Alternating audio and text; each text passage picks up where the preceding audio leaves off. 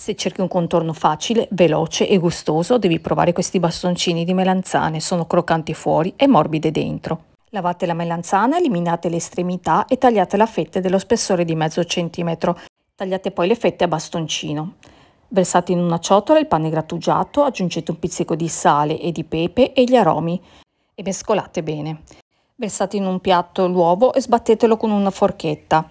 Passate ogni bastoncino prima nella farina, poi nell'uovo sbattuto e per ultimo nel pane grattugiato. Man mano sistemate i bastoncini di melanzane in una teglia con della carta a forno.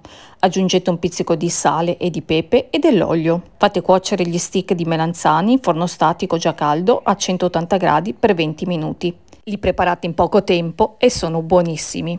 E se l'ho fatto io, lo puoi fare anche tu.